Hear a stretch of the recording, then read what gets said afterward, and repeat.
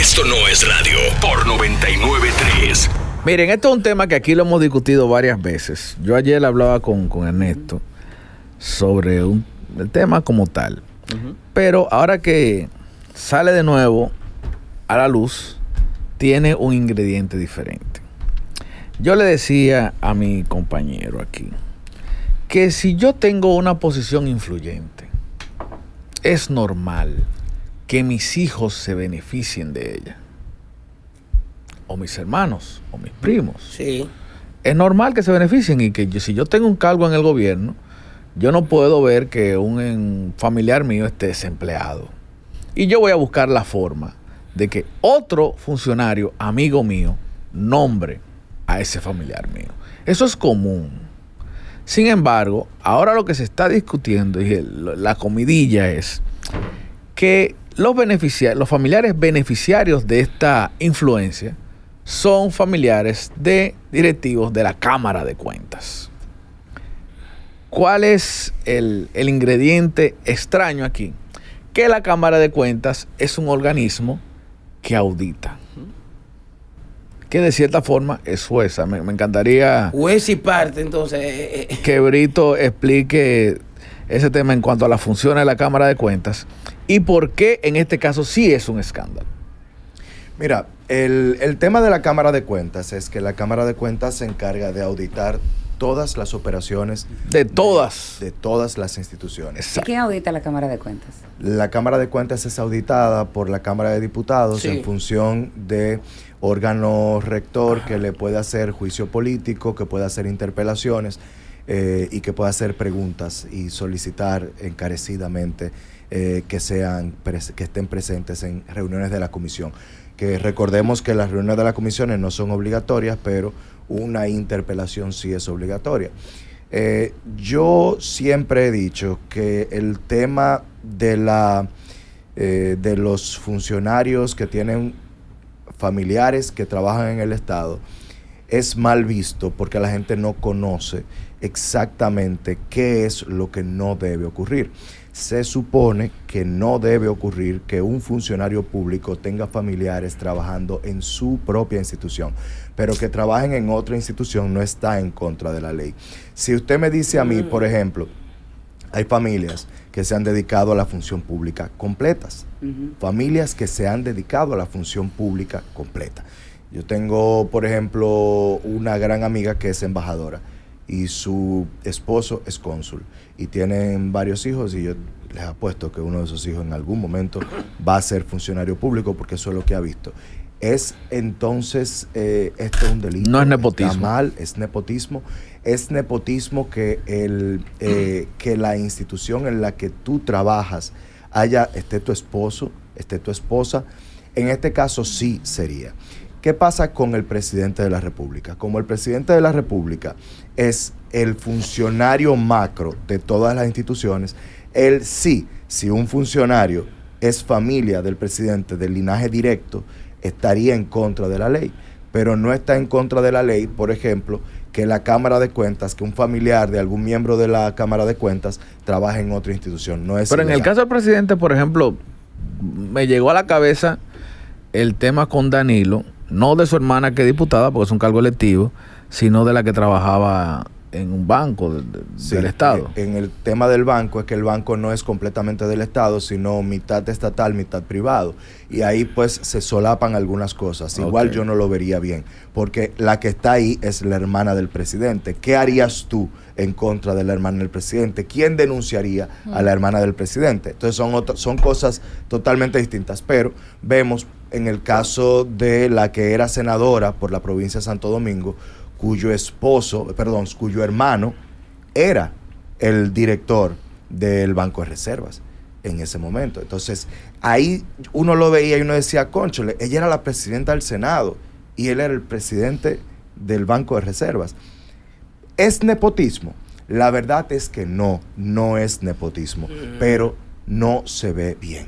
En el caso de los, de los miembros del Pleno de la Cámara de Cuentas, cuando tienen un familiar, de linaje directo que trabaja también en el Estado, lo justo y lo prudente es que esa persona no esté en una función pública que tenga que ver con erogación, manejo de fondos. Por ejemplo, yo vería mal que el, un familiar directo de algún miembro de la Cámara de Cuentas sea el director de compras y contrataciones de una institución. No, no puede. Porque ¿no? precisamente esa función es la más auditable por la Cámara de Cuentas. O que sea, por ejemplo, el director administrativo de una institución, que también es uno de los focos principales de la Cámara de Cuentas. Ahora, si el familiar de un miembro de la Cámara de Cuentas lo que es es, por ejemplo, Encargado de comunicación. encargado de comunicaciones, Exactamente. yo no veo conflicto de interés. Si es eh, director de seguridad, yo no veo conflicto de interés. Si es asistente del ministro. Ahí ya entonces viene una cuestión, porque el ministro sí es objeto de eh, investigación por parte de la Cámara de Cuentas. Entonces yo creo que simplemente en República Dominicana estamos tan hartos de que la ley no se cumpla, que todo lo que parezca una violación a la ley nos aborrece, aunque no lo sea. Porque aquí no se cumple esta parte de que miembros de tu familia no pueden trabajar en la misma institución en la que tú trabajas. No se cumple. Sí hay algunas en las que, y yo, y yo conozco casos, en los que una persona trabaja por años en una institución, nombran a su cónyuge en esa institución y esa persona tiene que renunciar. Mira, Sí, aunque, tú- aunque ya hay muchas empresas que en ciertos cargos permiten que un, sí, un matrimonio trabaje. Pero Brito, Sí. tú ves justo tal vez que una persona que se haya preparado para trabajar y ocupar una posición tenga que dejarla para que, porque tú estableciste una diferencia entre lo que es por ley y lo que se ve mal o se ve bien. Exactamente. Entonces, si alguien que lo hemos mencionado aquí se ha preparado para estar en una posición, debería retirarse para que la gente no lo vea bien o no empiece a especular cosas. Yo no creo que debería retirarse. Yo creo que una persona que se ha formado para trabajar en la función pública debe saber que la función pública tiene reglas que deben cumplirse. Y si yo me preparé para ser director de seguridad eh, de organismos internacionales y caigo como director de seguridad del MIREX y a mi esposa la hacen eh, canciller, yo como funcionario público tengo que saber que yo tengo que retirarme del MIREX y que tengo que irme a otra institución. Tengo que saberlo, porque ahí sí sería nepotismo. Ahora, si él está en otra institución y a la esposa la nombran en otro lugar, no veo conflicto de interés. Ahora, hay cosas que sí te generan conflicto de interés, aunque sean instituciones distintas. Por ejemplo, la sala capitular del Distrito Nacional es la que se encarga de eh, aprobar y emitir Sí. la permisología de una estación de gasolina en el Distrito Nacional. Tú no puedes estar en la sala capitular y estar en otro órgano rector también de la misma permisología como lo es el Ministerio de Industria y Comercio. Ah, Porque entonces habría un conflicto de interés porque la permisología que se hace de un ministerio A la, a la sala capitular es supuestamente Pero puede para hacer- generar un contrapeso. Tú vas a decir, pero eso puede dar coincidencialmente, porque yo te- puedo tener di que una esposa trabajando en industria y comercio y yo soy regidor. Sí, Se pero tú dar. no puedes ser miembro de la sala capitular, ser regidor y ser asistente del ministro de Industria y Comercio. No, pues te digo, yo puedo estar Y casado con una persona que trabaja en industria, en industria y Y eso está pasando y- actualmente. Y, gané como regidor y ya. Si ganaste como regidor, pues entonces tú no puedes trabajar en el Ministerio de Industria y Comercio también. ¿Entiendes a lo que me No, refiero? no, es, es, es- es de las dos funciones ahora, pero tú puedes tener un- tu cónyuge, sí puede trabajar. No puede, porque lo que, lo que digo es... Ella la debería renunciar, entonces. Ella debería renunciar o debería irse a una, a una parte de ese ministerio que no tenga nada, absolutamente nada que ver con la autorización de estaciones de gasolina, porque ahí sí habría un conflicto de interés. Entonces es todo como tan sui generis que Ernesto, lo, Ernesto él va sintiendo, porque él sabe perfectamente lo sui generis que es esto. Claro. Es simplemente Una que cuestión no de ética. conflicto de interés. Tú no puedes estar en una institución No desde la cual tú puedes llamar a tu cónyuge, aló, y, faci- cosa. facilitar que tu trabajo sea bien visto en otra institución que está supuesta a fiscalizar el tuyo.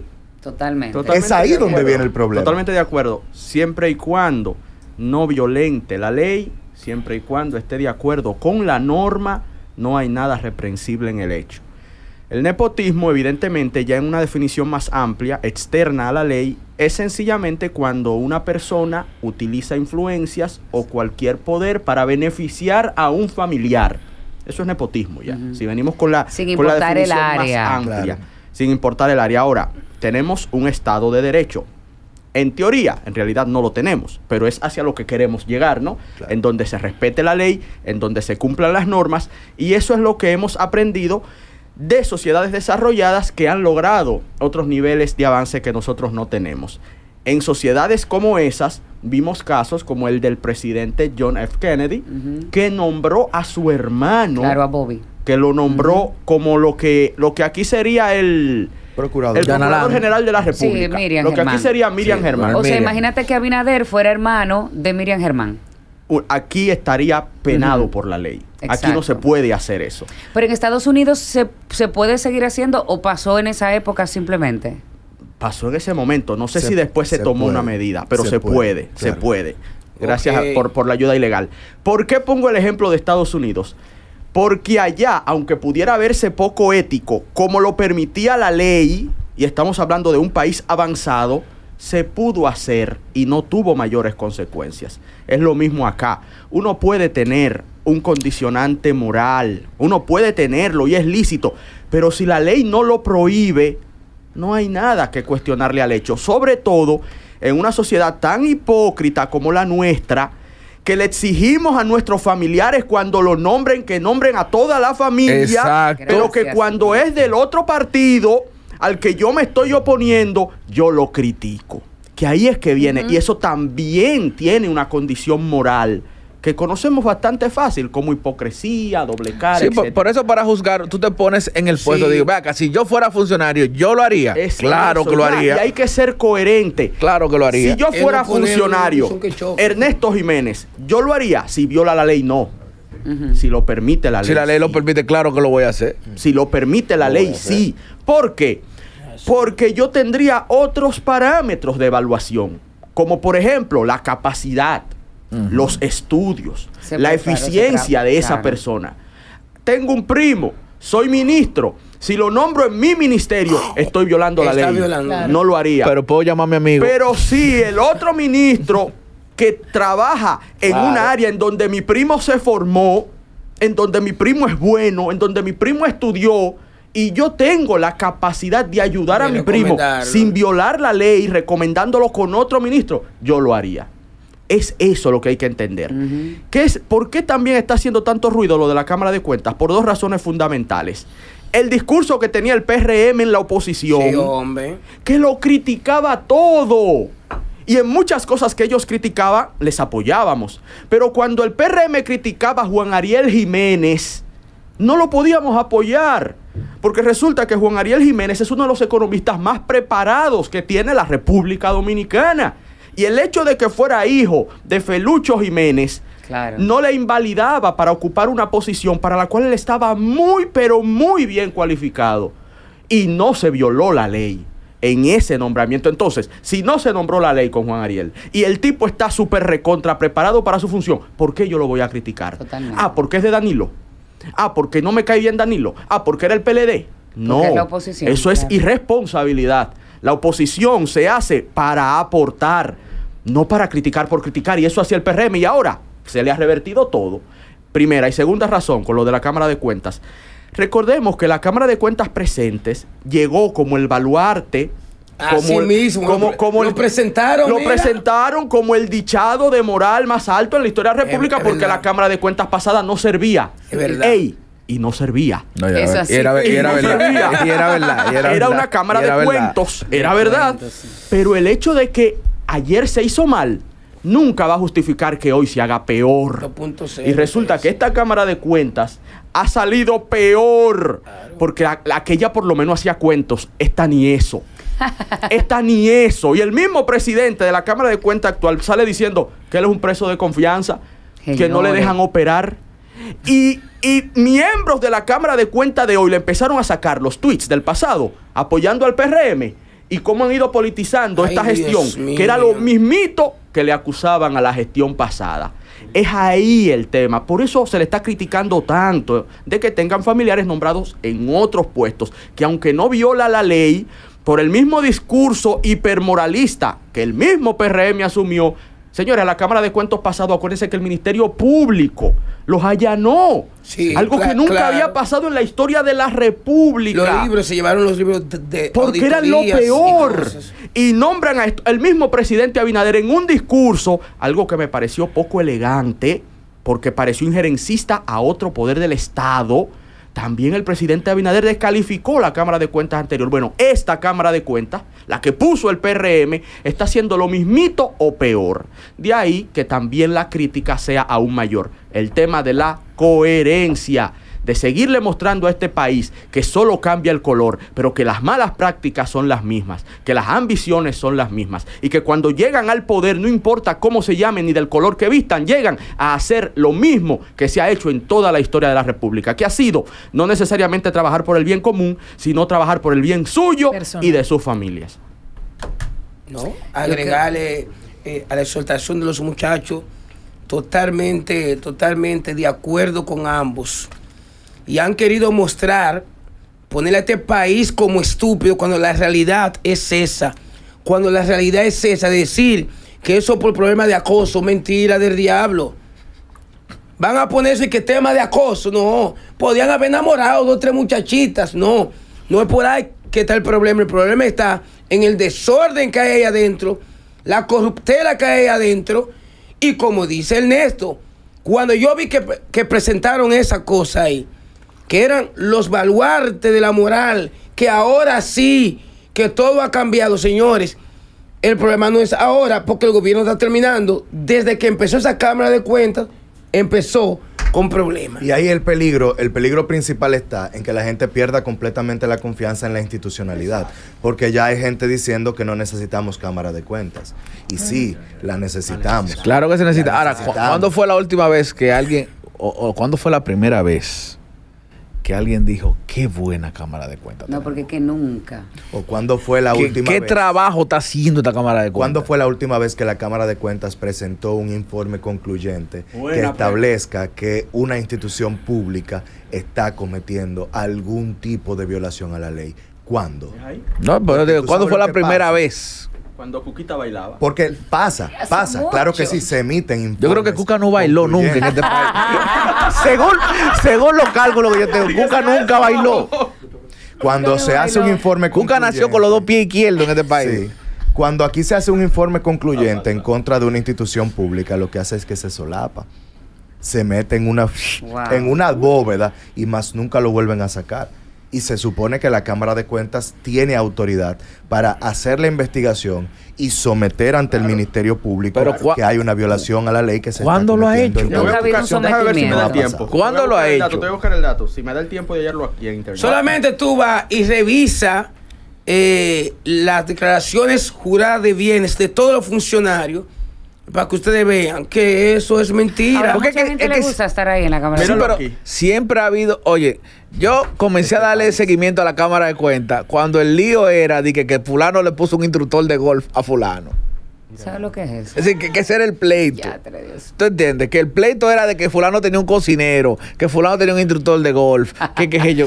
Oye esto, Ariel. Oye esto. Periódico Listín Diario. Porque aquí damos crédito. Ah, a quien sí. lo- a quien lo merece. Yasmel repítelo, Corporán. listín diario. Junio Gracias. del año 2020, oh, bien reciente, actualizado este mismo mes. La Cámara de Cuentas tiene 169 auditorías pendientes desde el año 2010. Oigan eso. Desde el gobierno de Lionel. Y ustedes saben qué pasa con las auditorías 169. pendientes, que después que pasa un tiempo perime la acción penal. Mm, Ya, hacen Y así. de eso es que Y- se ha estado encargando la las cámaras de cuentas que hemos tenido en República Dominicana. Es decir, hay gente que llega a su oficina y dice de que yo tengo ahí eh, 200 trabajos pendientes. Por mañana. Y llega mañana. Y llega mañana y dice, Ah, Ahora son Hay otras 201. prioridades. Ah, eso aguanta para mañana.